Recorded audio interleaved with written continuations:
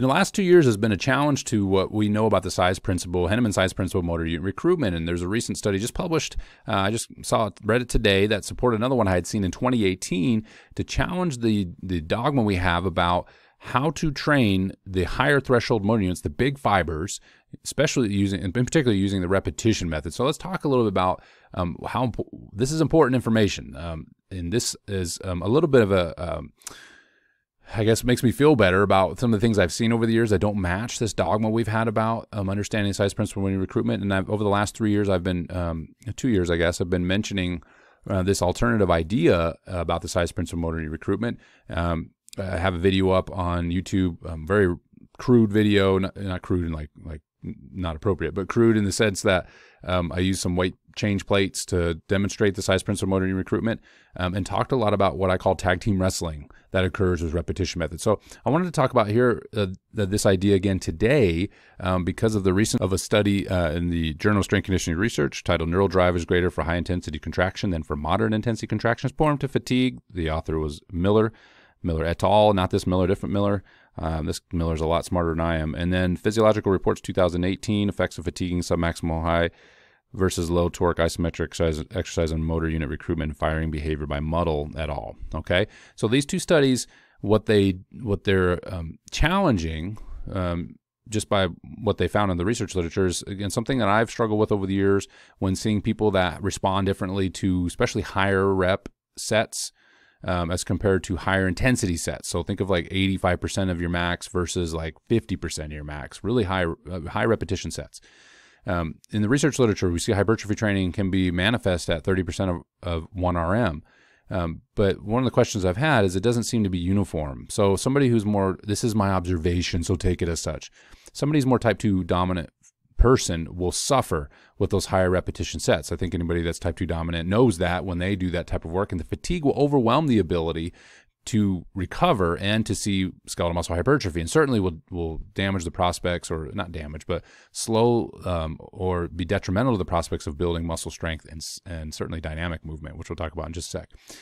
Where somebody who's type one fiber dominant um, may see benefit from these type of sets and doing higher um, load sets, they they may not get as much benefit. and say they won't get benefit. They won't get as much benefit because they don't have a lot of type 2 fibers as compared to the person who has type a lot of the type 2 fibers can lift the heavy weight. So, I mean, we kind of self-select in these things anyway. You know, if you think about Olympic style weightlifter, they're not typically a type 1 dominant person in a fixed mixed fiber type muscle like a quadricep muscle where um, an endurance athlete is going to you know self-select into something that the, the endurance fibers tend to match their their you know their profile and their mixed uh, fiber type muscle tend to support okay? Um, and so finding the right training when what this leads to is finding the right training approach for you. Now we don't this neither one of these studies addressed hypertrophy. They weren't training studies right? They're just mechanism studies. They're trying to figure out how the size principle of motor unit recruitment um, actually works. Uh, because the way we understand it now I I believe, which right there should raise a lot of red flags, and, and this is completely speculative, but I, I don't believe we have a complete understanding. I don't think we have an incorrect per se understanding, but I don't think we have a, a uh, complete. So let's get in this really quick. Um, just a quick review on dynamic maximal method. And what you're looking at here, let me back up. What you're looking at for here is force and motor unit recruitment. So the more force that's required for a movement is going to climb the um, size principle motor unit recruitment. I don't have hybrid fibers listed here. I'm just keeping it simple. So type 1 motor units are like your Priuses. Type 2 X fibers, if you have any, they can be trained out completely. Um, but type 2X fibers, again, not taking into account the hybrid pool. Let me just make that caveat. But type 2X fibers will be like the dragsters, right? They're high octane, but they don't last very long. But man, they put out a lot of power. And then our type 2As are somewhere in between. They're like trained dragsters, basically you kind of sacrifice some of the dragster qualities, uh, but you gain some of the Prius qualities. So when somebody gets in shape, that's one of the things that happens is type 2 X's become more like type 2 A's. Um, and that's just one of the things, not the only thing. So in a movement like, let's say, uh, uh, that's if I said jump as high as you can, uh, and you jumped, you would hypothetically recruit all the available motor units to jump as high as you can. Now I say available. If you were fatigued, you ran 10 miles in and said jump as high as you can, you're not going to jump as high because some of these motor units have been knocked out due to fatigue. And so you can have this high neuro drive, but not really see uh, you know your maximal expression of power. Maximal method is is just as it sounds. You lift heavy weight. So if we did a one RM, you know, if all the available motor units would contribute to, you know, moving the bar, or that's a bench press or a back squat, whatever it is. But if you ran 10 miles and tried to do that, you'd have some of these motor units knocked out. And so you wouldn't have a full expression of your strength that you could you could see if you weren't fatigued. Uh, and that's why dynamic, especially, especially dynamic and maximal to lesser degree, is very sensitive to fatigue. I know the word "very" is is subjective, but you know you, you, you can't mix plyometric training with with um, you know doing some fatiguing work and expect somebody to jump as high as they can. Okay. Now the repetition method is is this is where the controversy is kind of being, in my opinion, it's a controversy, not in like a negative way. We're just finding out more information. Um, the repetition method says that when somebody lifts weights in a submaximal, like doing a set of 12 to failure, you might start somewhere here on the motor unit recruitment. Then as you as you go along in your set, some of these motor units get fatigued and they get they get knocked out. And so in order to keep the barbell moving or the dumbbell, whatever it is, you're going to have to climb up on the size principle motor unit recruitment, eventually recruiting all the available mo motor units, including the big ones. And that's you know that's why you have this last gasp effort, and then you're done. Okay.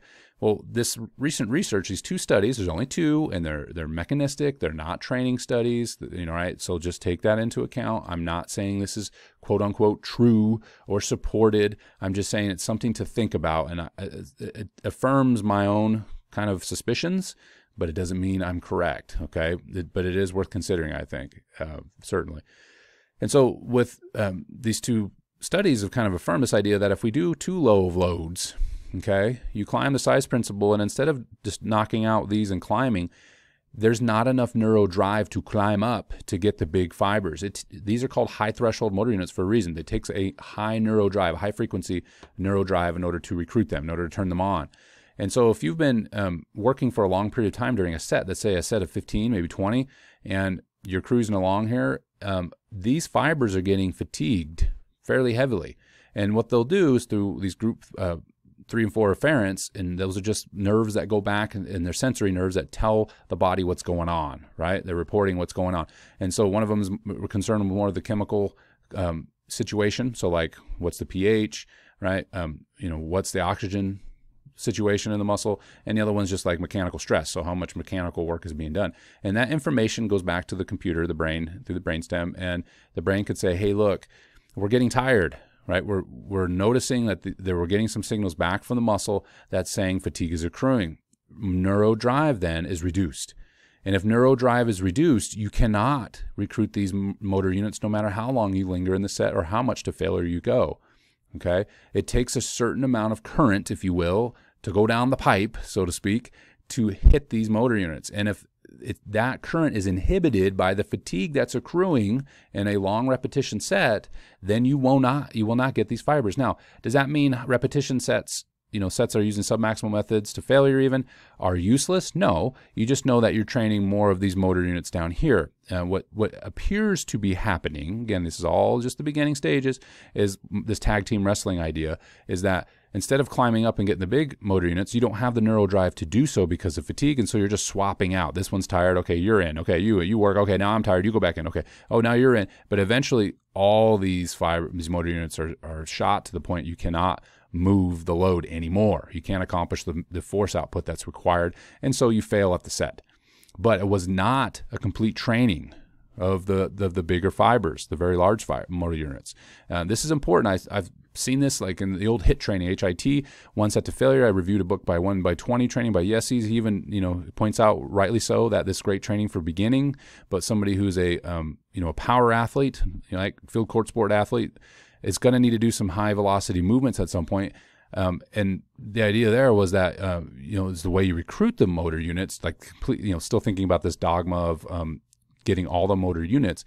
But if you think about we're adding another layer saying, well, yeah, you're not going to get fast doing one by 20 to failure because you never recruit the big motor units and they don't ever learn how to play together, right? That's the whole point too is, um, you know, these expressions of, of force, uh, these high force, peak force type of activities, uh, these motor units have to play together. It's like a, you know, a, a sports team and you're missing one of your players. Like if this one's not there because it's fatigued, you can't really learn how to play together, right? It's like a symphony not having the wind instruments as part. You can't make the music, at least not like it's supposed to, because you're missing part of the of the symphony. So same thing with motor unit recruitment. Um, and so what that means then in terms of, you know, what's the application? Well, just like I kind of alluded to earlier, um, if you're a type 1 person, so you're kind of a lean person has a hard time putting on muscle mass, there may be some benefit for you then because you're more type 1 fiber dominant and going to lower intensity, higher rep sets to failure because you're going to be able to recover from it as well. Somebody who's a larger person, in other words, who gains muscle quickly, uh, they're probably more type 2 fiber dominant and doing high repetition sets for that individual, you know, doing 20 rep sets, 15 rep sets, even as max, that might be something that accrues too much fatigue uh, and is not worth the stimulus. So the fatigue is masking the stimulus. The fitness fatigue model, um, if you know Dr. Mark Israetel, which I'm sure a lot of you do, right? He talks about that ratio of stimulus to fatigue. Um, for a bigger person to use higher rep sets then may not be a good idea. For somebody who's more type 1, like a leaner person, have a hard time gaining muscle mass, doing the higher rep sets of failure may be something that's more appropriate. So this understanding then drives better practice. Um, and uh, there's many um, coaches I've seen over the years that say, hey, we got a bunch of lean individuals. We're going to go to failure a lot with higher rep sets. This would support that idea where somebody, again, who is a little bit bigger and more prone to gain muscle mass, being very careful the fatigue is a better idea and maybe staying in the higher intensities. But um, does that mean repetition method is wrong? No. It just means that we may not have a complete understanding of it. And that, you know, this dogma that we always get the type two, the big type two motor units every single time um, we go to failure repeti- is is may not be supported if fatigue wipes out neuro drive before that can happen.